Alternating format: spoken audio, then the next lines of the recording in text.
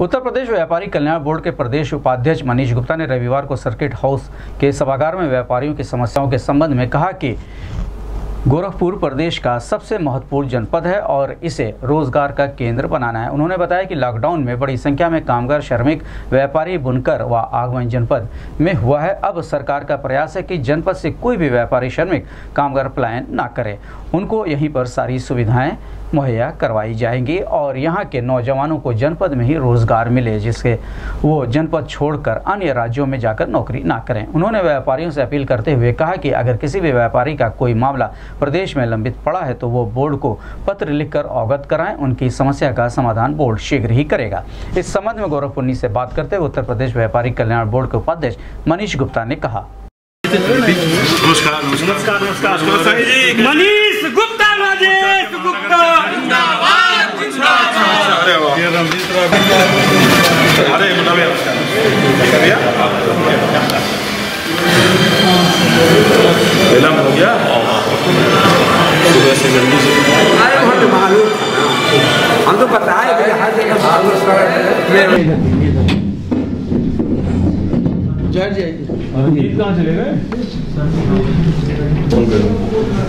गोरखपुर आपको पता है एक लंबे समय से सबसे महत्वपूर्ण जनपद है। आज़ादी के पहले भी और आज़ादी के बाद भी।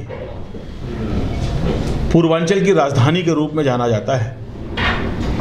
और ऐसी परिस्थिति में सरकार का ये दायित्व तो है संगठन का ये दायित्व तो है कि सर्वाधिक सुविधाएँ यहाँ के नागरिकों को और पूरे पूर्वांचल को मिले। पूरे पूर्वांचल को रोज़गार का हब बनाना है हमें कोविड 19 के कारण। पूर्वी उत्तर प्रदेश के पूरे देश में गए हुए अपने श्रमिक भाई, अपने व्यापारी बंधु, आम नागरिक बड़ी संख्या में पूर्वांचल में वापस लौटे हैं। ऐसी परिस्थिति में माननीय प्रधानमंत्री जी की आत्मनिर्भर भारत योजना के तहत भारत को आत्मनिर्भर बनाने के लिए और पूरे पूर्वांचल को उस आत्मनिर्भर भारत का के में सबसे आगे रखने के लिए मेरा गोरखपुर आगमन हुआ है। हमने गोरखपुर के लिए अनेकों योजनाएँ चिन्हित करी हैं, जो मात्र गोरखपुर ही नहीं, बल्कि पूरे पूर्वांचल को और पूर्वांचल के नौजवानों को, पूर्वांचल के व्यापारियों को, पूर्वांचल के उद्यमियों को और पूर्वांचल के आम जनमानस को प्रमुख से प्रमुख सुविधाएँ जो बड़े बड़े अंतर्राष्ट्रीय महानगरों में होती हैं, जो अंतर्राष्ट्रीय स्तर के महानगरों में हैं, या यूँ कहें कि भारत के जो पाँच प्रमुख नगर कहे जाते हैं, दिल्ली बम्बई कलकत्ता, मद्रास और बेंगलोर, उन जैसी सुविधाएँ हमें पूर्वांचल के प्रत्येक जनपद के अंदर चाहिए ताकि यहाँ से प्रतिभा का पलायन किसी भी अन्य राज्य में अथवा किसी अन्य देश में किसी भी हालत में ना होने पाए। यहाँ के नौजवानों को यहीं पर रोज़गार मिले और ऐसा रोज़गार मिले कि वो अपने आप में दुनिया में मिसाल हो। हमने पूर्वांचल के विकास के लिए साधारण इंडस्ट्रियाँ लगाने पर भी 25 से 35 प्रतिशत की छूट जारी कर दी है। पूर्वांचल में 12 क्लस्टर हमने पास किए हैं, जिनमें 70 प्रतिशत की छूट छूट दी जा रही है।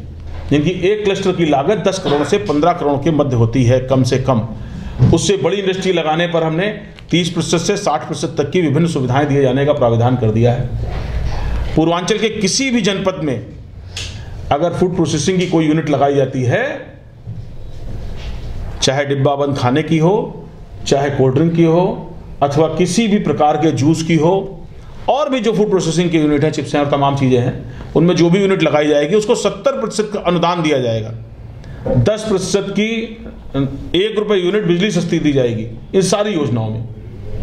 और 10 वर्ष तक बिजली का सरचार्ज पूरी तरह से माफ़ रहेगा। एक कोल्ड स्टोर लगाने पर भी हमने 35 प्रतिशत की सब्सिडी पहले वर्ष और दो वर्ष पश्चात 15 प्रतिशत की सब्सिडी दिए जाने का प्रावधान किया है। उसको भी 10 वर्ष तक बिजली का सरचार्ज पूरी तरह से माफ़ रहेगा। इसके अतिरिक्त एक और सुविधा उसमें रखी है कि एक रुपये यूनिट बिजली पूरी तरह से सस्ती रहेगी। दुर्घटना में, किसी आपदा में प्राकृतिक आपदा में दैवी आपदा में, जीएसटी में रजिस्टर्ड किसी भी व्यापारी को 10 लाख रुपए की सहायता दिए जाने का प्राविधान उत्तर प्रदेश व्यापारी कल्याण बोर्ड के माध्यम से मैंने कर दिया है। और इसके अंतर्गत उत्तर प्रदेश में जितने भी मामले लंबित होंगे उनको तत्काल भुगतान किए जाने के भी निर्देश दे दिए हैं। अगर किसी का कोई मामला हो तो सीधे व्यापारी कल्याण बोर्ड में भी लिख करके भेज सकता है। एक सप्ताह के अंदर अंदर उसकी कार्रवाई पूरी करके आदेश जारी करके और पैसा उसके जो भी आश्रित है, उनके अकाउंट में ट्रांसफ़र किए जाने के निर्देश दिए गए एक और मुझे लगता है आवश्यक बात आप लोगों को बताना आवश्यक है। पिछले काफ़ी समय से या कुछ समय से कहें, कुछ गलतफहमियाँ, व्यापारियों के, उद्यमियों के आम कार्यकर्ताओं के बीच में मन में आ रही थी कि सर्वे और छापे अधिकारियों के द्वारा प्रारंभ किए गए थे। इन पर पूरी तरह से रोक लगा दी गई है। किसी भी सरकारी अधिकारी, चाहे वो वाणिज्य कर का हो, चाहे इंडस्ट्री डिपार्टमेंट का हो राज्य कर का हो, अगर उसका कहीं पर भी किसी भी मामले में संलिप्तता पाई जाती है तो तीन माह में होने वाली बोर्ड की बैठक में उसकी चरित्र पत्रिका में प्रतिकूल प्रविष्टि दी जाएगी और उसको निलंबित भी किया जाएगा। किसी भी शोषण उत्पीड़न को, किसी भी व्यापारी के, किसी भी हालत में बर्दाश्त नहीं किया जाएगा। ये पहला प्राविधान उत्तर प्रदेश में लागू किया गया। इसके अतिरिक्त अधिकारी विवेक के आधार पर शोषण करते थे और टैक्स लगा देते थे। उस टैक्स लगाने के उनके अधिकार को पूरी तरह से समाप्त कर दिया गया है। अब आज की तारीख में पिछले 24 अप्रैल से ये शासनादेश लागू है। किसी भी अधिकारी को विवेक के आधार पर टैक्स लेने का अधिकार पूरी तरह से समाप्त कर दिया गया है। अगर किसी अधिकारी ने विवेक के आधार पर किसी भी व्यवसायी के ऊपर टैक्स लगाया, इसकी शिकायतें पूर्वांचल के कई जिलों से हम लोगों को प्राप्त हुई थी। इसी के नाते ये प्रवास लगा है। अगर किसी ने विवेक के ऊपर टैक्स लगाया तो उस धनराशि की वसूली उसकी तनख्वाह से करी जाएगी। उसके चरित्र पंचिका में भी प्रतिकूल प्रविष्टि दी जाएगी। साथ ही साथ और भी अनुशासनात्मक विभागी कार्यवाही इसके उसके विरुद्ध की जाएगी। हमने पूरे प्रदेश में लागू किया है कि गोरखपुर का टेराकोटा का बना हुआ गणेश लक्ष्मी और दिए, माटी माटी से बने हुए दिए के साथ साथ जो डिज़ाइनर दिए दिए, विशेषकर गोरखपुर में और उसके आसपास के इलाकों में बनते थे और गोरखपुर की बाज़ारों में बिकते थे। पूरे उत्तर प्रदेश में उसके लिए बाज़ार मुहैया हो, इसके लिए हमने प्रत्येक जिला उद्योग केंद्र पर उनकी प्रदर्शनी लगवाई है। प्रत्येक ज़िले में होने वाले सारे मेलों में जो भी इस यहाँ के उत्पादक हैं, उनको आने जाने का किराया पूरी तरह से, आने जाने का पूरा किराया उनको मिलेगा। वहाँ पर उनको जो स्टॉल है, वो निःशुल्क प्रदान किया जाएगा।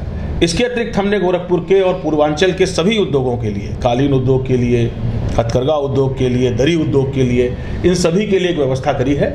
एक बड़ा हमने व्यापार मेला आयोजित किया है दिल्ली एनसीआर क्षेत्र में, गाजियाबाद में, जिसमें एक दिन का किराया एक लाख रुपए से लेकर के दस लाख रुपए तक होता है एयर कंडीशन हॉल में, जिसमें देश के सभी राज्यों के सरकारी प्रतिनिधि शामिल होंगे और अपने राज्यों में उपयोग किए जाने वाली वस्तुओं को वो उससे खरीदेंगे, ये उन पर बाध्यता है।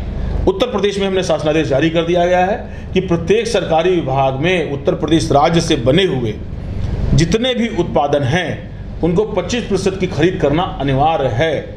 उनको अपने मूल बजट के, चाहे जितना बड़ा राज्य का बजट हो, विभाग का, चाहे जितना बड़ा बजट हो, लेकिन 25 प्रतिशत की खरीदारी कम से कम उनको प्रदेश में उत्पादित किए हुए वस्तुओं की करनी ही करनी है। उनका बिजली की समस्या थी। बिजली की समस्या के लिए उसमें एक नया शासनादेश जारी किया गया है।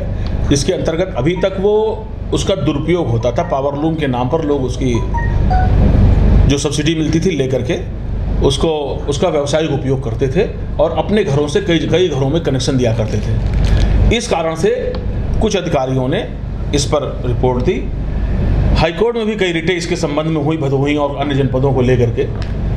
इसके बाद एक नया कानून बनाया गया है, जिसके अंतर्गत इनकी सब्सिडी और उपयोगिता, कितना विद्युत वो उत्पाद उनके उत्पादन इकाई के लिए ज़रूरत है, जो पिछले छः महीने के अंतर्गत उन्होंने जितना इस्तेमाल किया है, उसके आधार पर उनका मानक तय करने के बाद में उसका निस्तारण किया जाएगा। इसका शासनादेश जारी कर दिया गया है। जिलों जिलों में उसका कार्य करने के लिए अधिकारी नियुक्त कर दिए गए हैं। उस समस्या को पूरी तरह से दूर कर दिया गया है।